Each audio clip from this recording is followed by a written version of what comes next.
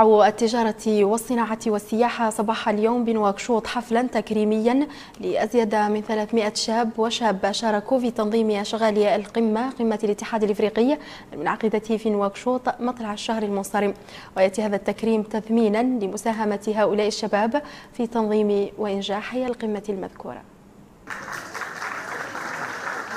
يأتي توزيع هذه الشهادات والمبالغ المالية على 320 شابا وشابة ساهموا في الإعداد للقمة الإفريقية الحادية والثلاثين التي احتضنتها بلادنا مؤخرا. وقد تلقى هؤلاء الشباب تكوينا مكثفا في مجال الفندقة والطبخ وبعض الخدمات الأساسية المرتبطة بالسياحة.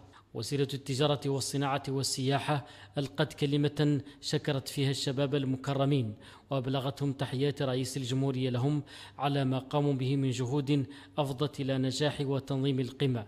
هذا الحفل يتوج أو جاء لتتويج الجهود القيمة والجبارة اللي قمتوا بها خلال الانعقاد القمة الواحدة والثلاثين للاتحاد الإفريقي اللي انعقدتهم في نواكشوط في يوليو الماضي.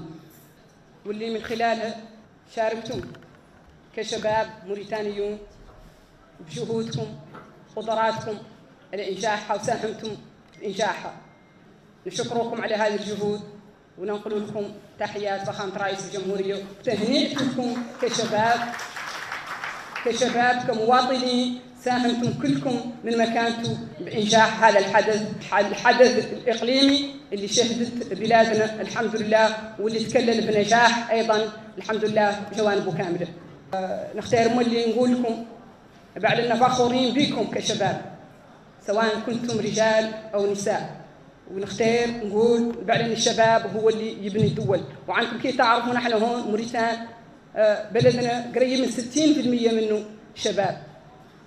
وبالتالي معول عليكم معول عليكم ياسر من التعويل بأنكم تبنوا هذا البلد ترفعوا من شأنه السياسة حالا اللي متبعة وسياسة فخامة رئيس الجمهورية منذ وصوله للسلطة والقيمة اللي أعطى للشباب من أجل إدماجه بالشأن العام هي اللي خلاتنا كقطاع وصي اختاروكم من أجل عنكم أنتم كموريتانيين تعودوا أنتم هم اللي قايمين بالخدمات اللي له ذبعض اللي كامل عدلتم الخدمات بدال من تعودوا عدلتوا بمكانكم مادة أخرى أجنبية.